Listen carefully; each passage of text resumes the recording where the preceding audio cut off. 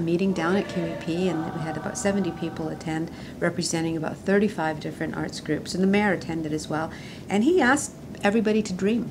And that's exactly what they did, and uh, came forward with some wonderful ideas. But there's a result and an effect that is happening there, and I see it when I visit it.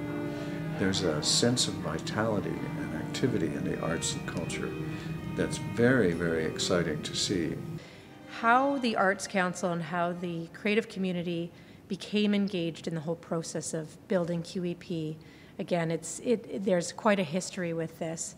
And um, the wonderful thing is the town has ensured that the arts community, the arts um, sector, has had a voice in the development of this. They were very interested in hearing what the needs were of the groups and really working with the groups to find out how to meet those needs, what the, what the solutions were, and continues to do so.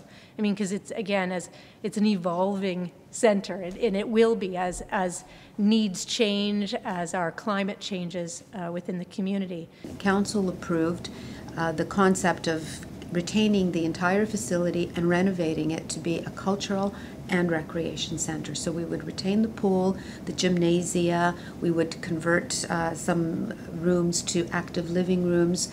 Um, we would also include a youth center and a senior center and purpose built studios for our arts and culture groups and uh, without having defined them at that point in time. So that was very exciting to all of us, and particularly to the arts community, because they would finally have their home.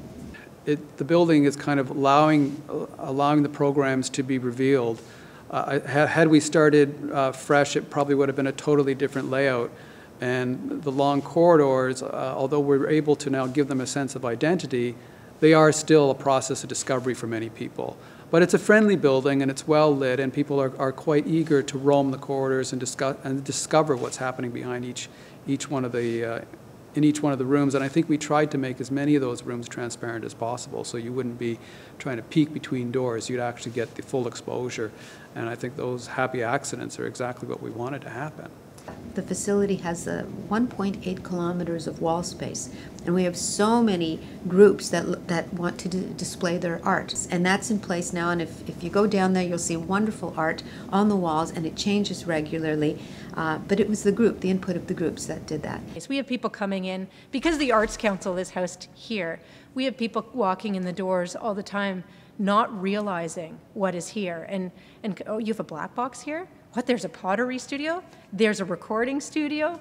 These pieces um, are, are hidden treasures right now, and, and I look forward to how we move forward to really integrate the community into the center as well. Because these are unique elements. You don't find these in every community center, and um, it's, an, it's a good model to follow.